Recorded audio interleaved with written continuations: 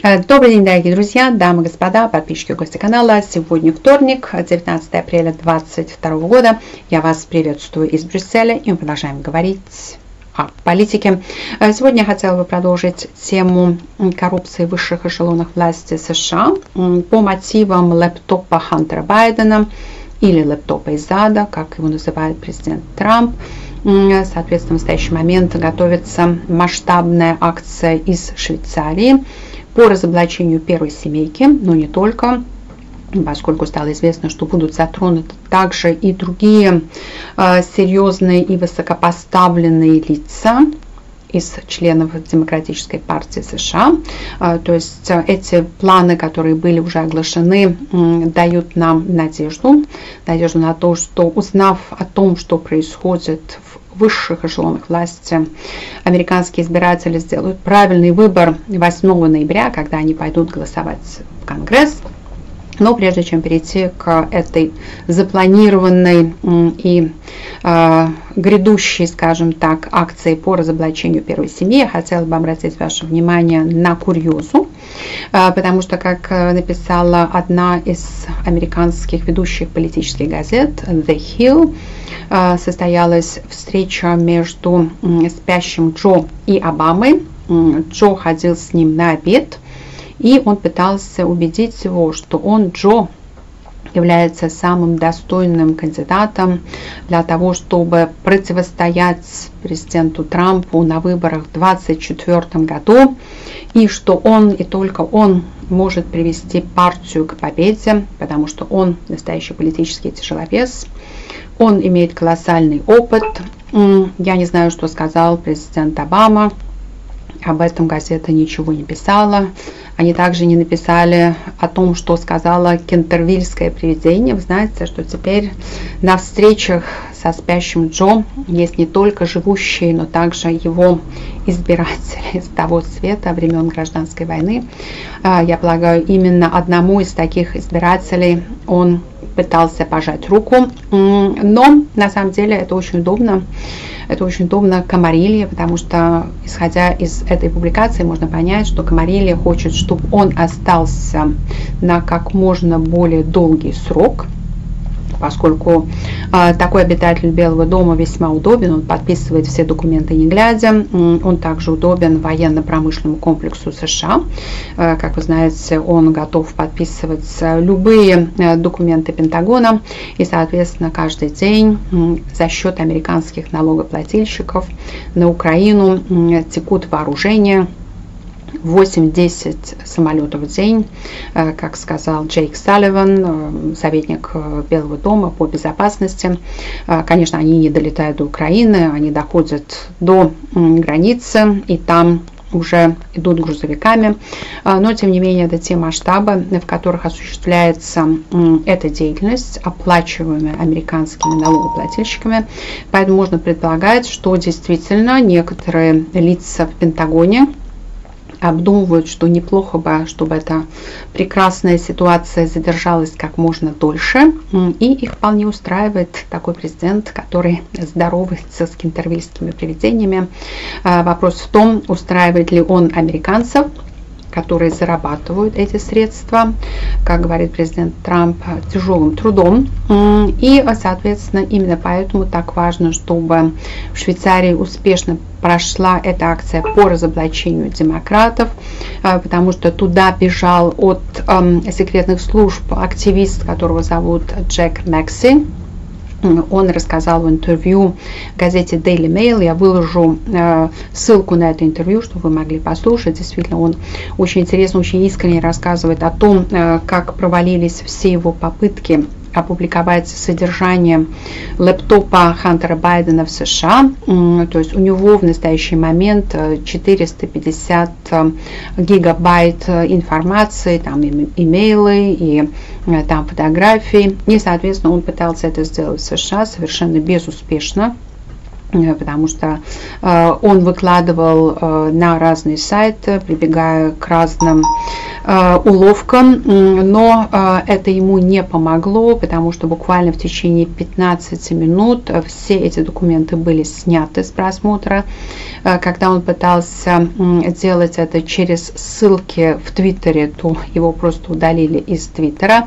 И он понял, что за ним очень плотно наблюдают секретные службы, которые не служат американскому народу. Это следует понимать, потому что это основная скажем так, проблема э, Джека Мекси, потому что он понимает э, без, бесцельность своей деятельности на территории США, потому что она все время блокируется именно секретными службами, которые не служат американскому народу, они служат э, защите этого совершенно коррумпированного Э, политического класса, этой коррумпированной верхушки, и поэтому он бежал в Швейцарию, поскольку он сам говорит в этом интервью о том, что э, существует э, система пяти глаз, так называемая, это координация действий секретных служб в США, Канаде, Великобритании, Австралии и Новой Зеландии.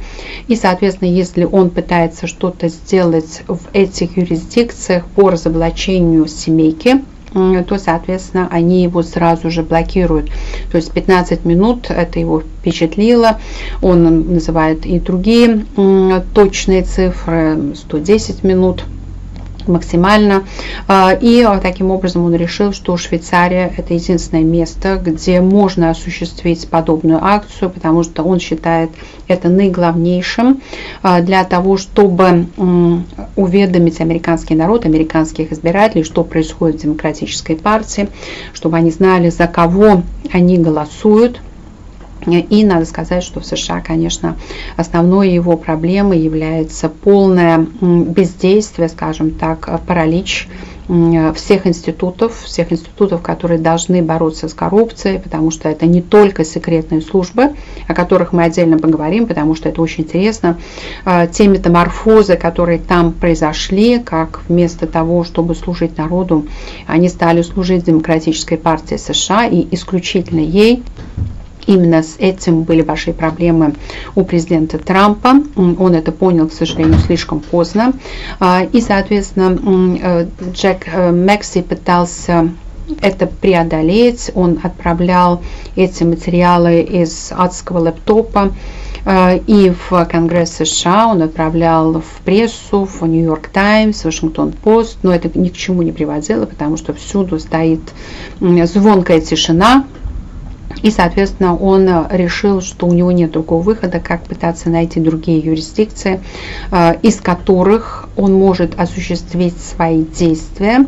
Э, и он очень интересно рассказывает, на мой взгляд, о том, как о нем заботились в полном смысле слова его друзья, до чего дошла деградация демократии в США потому что они вынуждены были ему звонить, э, э, проверять просто, жив ли он. То есть друзья ему звонили каждый день для того, чтобы проверить, снимет ли он трубку, потому что эти опасения были весьма серьезны. Опасения того, что его просто отправят на тот свет. Ему так они и говорили, из-за того, что он пытается разоблачить коррупционеров. То есть это на самом деле ситуация совершенно абсурдная и поразительная, потому что вместо того, чтобы приветствовать подобные действия и начать интенсивные расследования и в рамках, кстати, Конгресса, и не только прокуратура, а, и публиковать это в прессе. Вы знаете, что пресса это все купировала, все эти истории, которые были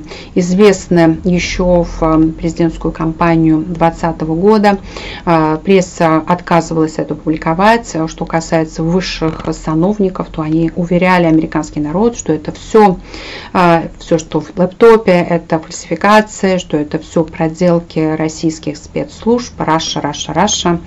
Но теперь стало известно, что это не Russia, это действительно подлинные документы, а, и, соответственно, в настоящий момент а, Джек Макси ожидает соответствующего эффекта. А, он говорит о том, что это произойдет как можно скорее, то есть они серьезно работают над тем, чтобы сделать эти документы доступными и недоступными для того, чтобы их убрать. Посмотрим, как у него это получится. Я надеюсь, что его акция увенчается успехом, потому что, как я сказала, она чрезвычайно важна в этот год выборов в Конгресс, потому что, в конце концов, широкие, э, скажем так, круги избирателей должны знать, кого они выбирают, чем занимается эта семья, что там за модель отношений, когда э, сын торгует влиянием папы, сын и брат, и потом они материально папе помогают, папе и брату, э, папочке, ремонтировать его дома, оплачивают счета и так далее и тому подобное. Э, я думаю, что американцы должны об этом знать. Ну, конечно, есть и те, которые, зная это, все равно будут выбирать демократов по другим причинам. Э, и тогда Соединенные Штаты рискуют иметь опять президента, который будет пожимать руку своим избирателям с того света, но я надеюсь лично, что этого не произойдет. Дорогие друзья, что думаете по этому поводу вы? А что думаете вы по поводу этих выборов 8 ноября. А, каковы ваши прогнозы? Я буду ждать ваших комментариев. Я благодарю всех, а, кто принимает участие в дискуссии, всех, кто ставит лайки. Я знаю, что они исчезают, они продолжают исчезать. Пожалуйста, проверяйте вашу подписку. Она имеет обыкновение также исчезать. И особенно тогда, когда я публикую материалы про святое семейство, в кавычках, у меня резко падает количество просмотров. Я думаю, что это чьи-то проделки, Особенно прослушав рассказ Джека Мекси, я подумала, что здесь что-то не так. Что думаете вы? Пишите мне, мне это даже интересно, потому что другие материалы имеют другое количество просмотров. Неужели моим подписчикам это так неинтересно знать, какие разоблачения грядут. И я хотела бы, конечно, поблагодарить всех тех, кто принимает участие в полемике и всех тех, кто делает донаты моему каналу на развитие. Спасибо вам всем. Я жду ваших реакций.